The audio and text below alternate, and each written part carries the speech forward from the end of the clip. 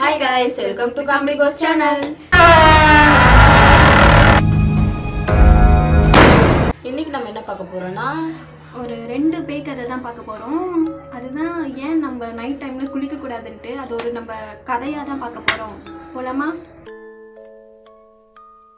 நம்ம நைட் டைமில் குளிக்க போனால் அம்மாவும் பாட்டியும் நைட் டைமில் குளிக்காதன்னு சொல்லுவாங்க. அப்போ நம்ம அவங்ககிட்ட என்ன கேட்போம்? அது ஏன் நைட்டில் குளிக்கக்கூடாதுன்னு நம்ம கேட்போம். அதுக்கு அவங்க அது தேவையில்லாமல் பேசாத குளிக்காதன்னு குளிக்காத. அவ்வளோதான் சொல்லுவாங்க. அப்போ நம்ம என்ன நினைப்போம்? ஓ இவங்க தண்ணி காசு தான் மிச்சம் பிடிக்கிறாங்கன்னு நினைப்போம். ஆனால் நிஜமாகவே நைட் டைமில் குளிக்கக்கூடாது. அதுவும் முக்கியமாக பொண்ணுங்க குளிக்கக்கூடாதுன்னு சொல்லுவாங்க.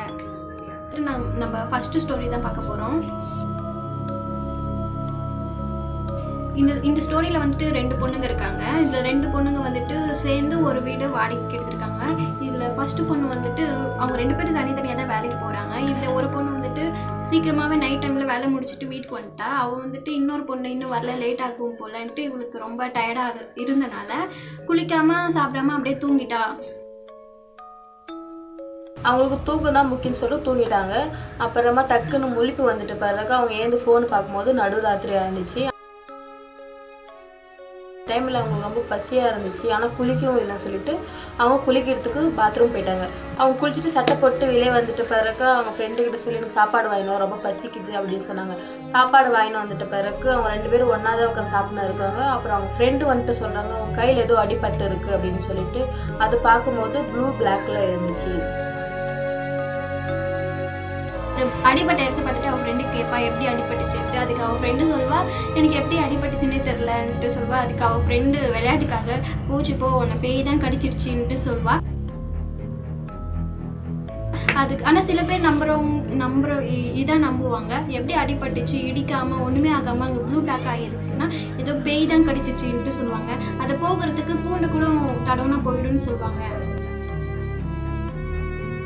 திருப்பி கதைக்குள்ளே போனா அவன் ஃப்ரெண்டு அந்த ரெட் அண்ட் ப்ளூ பார்த்துட்டு கேட்குறா என்ன ஆச்சு? எப்படி அடிபட்டுச்சு? எதாவது ஞாபகம் பண்ணி பாருன்னு சொல்கிறா அதுக்கு அவன் ஃப்ரெண்டு சொல்கிறா நான் போய் ஒன்றுமே பண்ணல. நான் போய் குளிச்சுட்டு தான் வந்தேன்.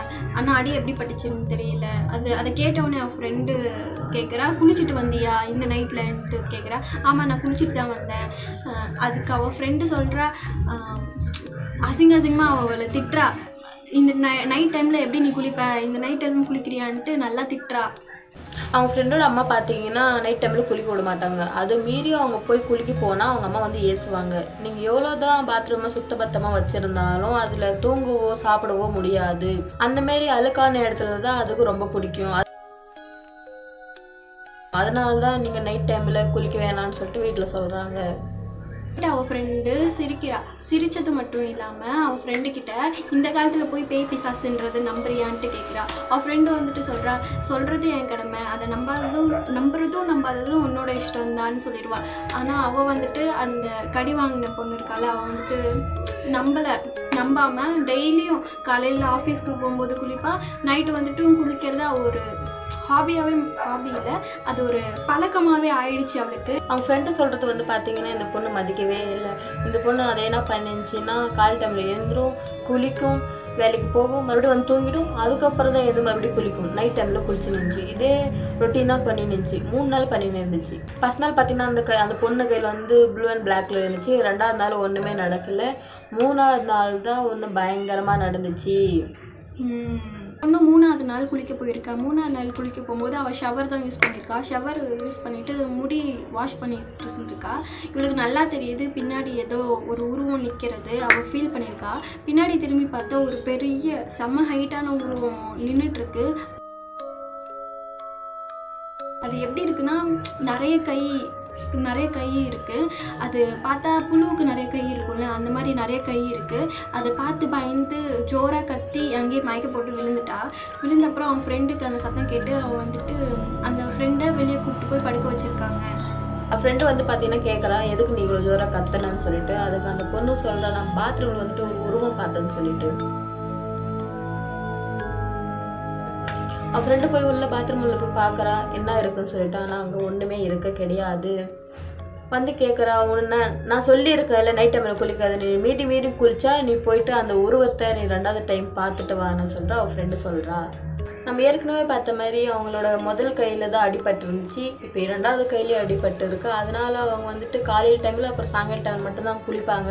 நைட் டைமில் பாத்ரூம் சைடே அவங்க போக மாட்டாங்க. ஸோ இதுதான் அந்த முதல் ஸ்டோரி நம்ம பார்க்க போகிறது வந்துட்டு செகண்ட் ஸ்டோரி இந்த ஸ்டோரியில் இந்த ஸ்டோரி வந்துட்டு வில்லேஜ் பேஸ் பண்ணி தான் இருக்கும். இந்த இந்த கதையில் வந்துட்டு ஒரு பொண்ணு இருக்கா? அவள் பேர் நட்டோஷி. இவ வந்துட்டு ஸ்கூல் படிச்சுட்டு இருக்கா.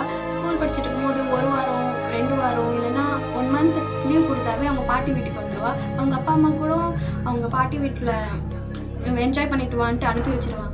அதே பாட்டி வீட்டில் ஒரு பையன் இருக்கான். அவன் வந்துட்டு அவனும் குட்டி பையன் இவனும் அந்த பொண்ணும் ரெண்டு பேரும் குட்டி பசங்க தான். அவங்க விளையாட போனால் எல்லாத்தையுமே மறந்துடுவாங்க நைட் ஆனால் கூட நைட் ஆன நைட் ஆனது கூட மறந்துட்டு கூட விளையாண்டுட்டு இருப்பாங்க. அதே மாதிரி தான் ஒரு நாள் அவங்க விளையாண்டுட்டே இருக்கும்போது ரொம்ப நைட் ஆகிடுச்சு நைட் ஆகிடுச்சின்ட்டு விளையாண்டுட்டு முடிச்சுட்டு வீட்டுக்கு போகலான்ட்டு கிளம்பி போயுமே நடந்து போயிட்டு இருப்பாங்க. அந்த ரெண்டு பசங்க நடந்து வீட்டுக்கு போயினே இருக்காங்க. அந்த பாட்டி வந்துட்டு வாசல்லையே நிற்கிறாங்க நீங்கள் காலையில் எவ்வளோ டைமுக்கு போனீங்க? இப்போ டைம் என்ன? இவ்வளோ லேட்டாக வரீங்கன்னு சொல்லிட்டு அந்த பாட்டி வந்து கேள்வி மேலே கேள்வி கேட்டுனே இருக்குது அதுக்கப்புறம் அந்த பொய் அந்த பையனும் அந்த பொண்ணும் வீட்டுக்குள்ளே கூப்பிட்டுக்கிறாங்க. கூப்பிட்டு பிறகு அந்த பொண்ணு அந்த ரூமுக்கு போகுது. அந்த பையனும் அந்த பையனோட ரூமுக்கு போகிறான் போயிட்டு பிறகு அந்த பொண்ணுக்கு அங்கே விளையாடி ரொம்ப டயர்டாக இருந்ததுனால குளிக்கலாம்னு சொல்லிட்டு அந்த பொண்ணோட ட்ரெஸ் எடுத்துன்னு பாத்ரூமுக்கு போகிறான் அப்புறம் வந்து அவங்க பாட்டி வந்து சொல்கிறாங்க இந்த டைமில் நீங்கள் குளிக்கக்கூடாது. நீ போய் தூங்கு அப்படின்னு சொல்லிட்டு திட்டி அமிச்சிடுறாங்க. பொண்ணு போய் படுக்க போயிடுச்சு. போயிட்டு பிறகு அந்த பொண்ணுக்கு வந்து அந்த பையன் ஞாபகம் வருது. சரி அந்த பையன் ரூமுக்கு போய் பார்க்கும்போது அந்த பையன் அந்த இடத்துல இல்லை. அந்த வீடெல்லாம் செக் பண்ணி பார்ப்பா அந்த பொண்ணு. ஆனால் அந்த பையன் இருக்க கிடையாது. அதுக்கப்புறம் வந்துட்டு அந்த பாட்டிகிட்டே போய் சொல்லிவிடுவான் அந்த பொண்ணு. சொல்லிட்டு பிறகு பாட்டியும் பொண்ணும் வந்துட்டு தேடினே இருப்பாங்க. தேடி தேடி நைட்டு தேட ஆரம்பிச்சது. காலை விடியங்காத்தாலே ஆகிடும் அந்த பையன் விடியங்காத்தில் பார்த்தீங்கன்னா பாத்ரூம் டோரை பொறுமையாக திறக்கிறான். திறந்துட்டு பிறகு அந்த பாட்டி கேட்குறாங்க இவ்வளோ நேரம் நீ எங்கடா போயிருந்தேன்னு சொல்லிட்டு. அதுக்கு அந்த பையன் சொல்கிறான் நான் பாத்ரூமில் தான் இவ்வளோ நேரம் இருந்தேன் அப்படின்னு சொல்லிட்டு. அந்த பாட்டிக்கு அப்போ தான் ஞாபகம் வருது நம்ம இந்த பொண்ணுக்கிட்ட நம்ம குளிக்க வேணாம்னு சொன்னோம் நான் பையனுக்கு சொல்லவே இல்லைன்னு சொல்லிட்டு. அப்புறமா தான் அவங்களுக்கு ஞாபகம் வந்துச்சு ஓ ஒருவேளை பேய் தான் இவ்வளோ நேரம் அவனை ஒளிச்சு வச்சுருந்துச்சின்னு சொல்லிட்டு. ஆனால் அந்த பையனுக்கு பார்த்தீங்கன்னா ஒன்றுமே ஞாபகம் இருக்காது. இந்த பாட்டிக்கு எல்லாம் தெரிஞ்சும் கூட ஆனால் அவங்க அந்த பொண்ணுக்கிட்டேயும் அந்த பையன்கிட்டயும் சொல்ல மாட்டாங்க.